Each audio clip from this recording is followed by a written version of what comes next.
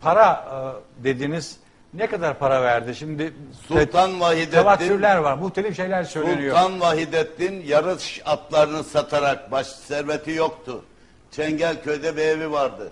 Yarış atlarını satarak Mustafa Kemal'e 40 bin altın vermiştir. 40 bin altın ne anlama geliyor? O günün 40 bin altını herhalde İstanbul'un yarısını satın alır. Ya İstanbul'un yarısı. Donanmayı, bir müsaade buyur. Donanmayı Hümayun için toplanan paranın nutukta var. Atlar o kadar para İstedim. ediyor muydu? Pardon. Atlar dediniz de o kadar para ediyor muydu? Yarış atları besliyordu. Söylenen budur. Kaynakların söylediği birinci elden insanların söylediği budur. Bunu Evet, Erdoğan İsmail Bey, Hami'de görürsün. İstanbul'un yarısını. İstanbul'un Hayır yarısını 40'ın altında kalmamış sayının kibar. Donanmayı Hümayun'a muavenet cemiyetindeki 400 bin liranın da istedim verdiler diyor nutukta. Niye? Çünkü milli mücadele paraya muhtaç. Onu gönderenler güya Samsun ve havalisindeki asasizliği yerinde görüp tedbir almak bu İngiliz'e karşı başvurulmuş bir tedbirdir. evet. Evet bunun şu gösterdiğim Erkan Harbiye'nin vesikalarında izahı var. Evet, Bu Erdoğan gittikten yanlış sonra versin ama müsaade. ona. Gittikten sonra İngilizler tezkere yazıyor. Niye gönderdiniz Mustafa Kemal'i? Halbuki Mustafa Kemal İngiliz vizesiyle gidiyor.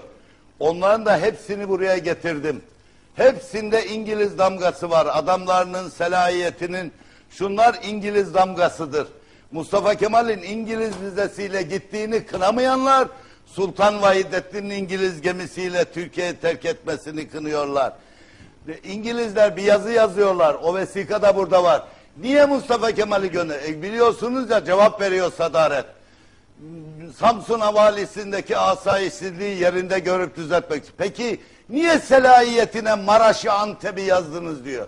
Bak elin gavuru iki tarafı çatıştıracak şimdi. Aa yanlışlık oldu diyorlar. Maraş ve Antep 3. ordu mıntakasındadır. 3. ordu lav olmuştur.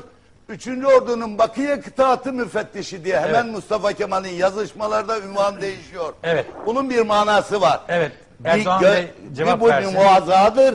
İki tarafı çatıştırarak İstanbul hükümetini halkın gözünden düşürmek için İngiliz ihanetidir. Evet. Erdoğan Bey e, öncelikle İstanbul'un öncelikle- yarısını satın öncelikle- alacak. Öncelikle sizi eleştirerek başlamak zorundayım. Yani bu yaptığınız program yönetimi değil.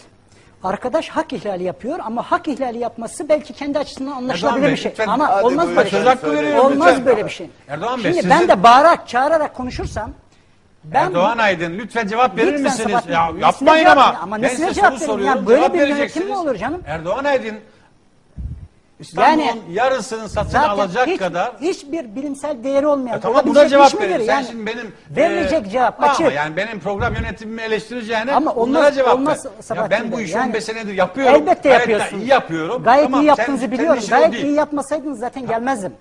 Ama şu anda mevcut Ama şu tamam andaki mevcut durum ya, hoş bir durum değil. Tamam yani. cevap verin lütfen. Evet İstanbul'un yarısını satın alacak kadar bir parayı verdiği doğru mu Erdoğan Bey? Elbette doğru değil. Doğru olması da mümkün değil. Cevap Biz verin bana. zaten yani at, atmanın bu kadar olabilir ancak İstanbul'un yarısını satın alabilecek bir parayla gidiyor. Oysa belgeler tümüyle aynesi iştir. Kişinin lafa bakılmaz.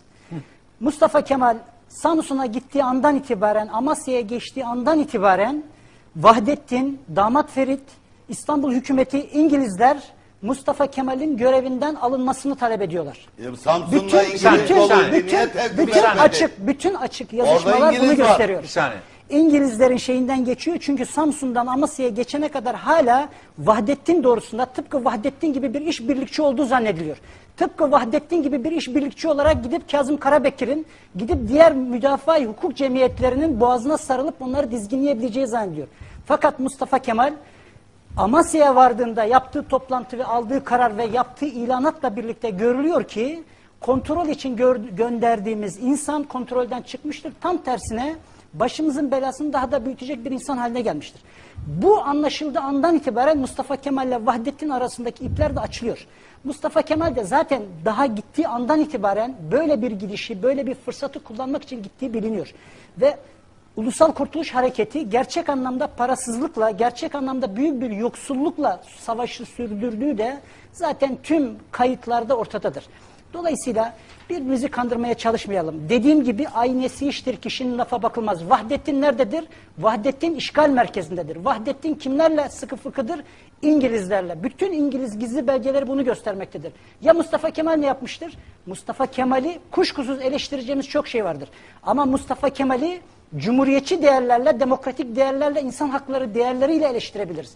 Ama Mustafa Kemal'in monarşiyle, Kemal padişahlık elbette değil. Zaten ona da çok fazla girmek istemiyorum. Ama şunun altını çok net olarak çizmek lazım. Eğer bir coğrafyada Benim işgalden, bir işgalden bağımsızlığa geçilmişse bu insanlık açısından yüz akı bir durumdur, bir devrimdir, ilerlemedir.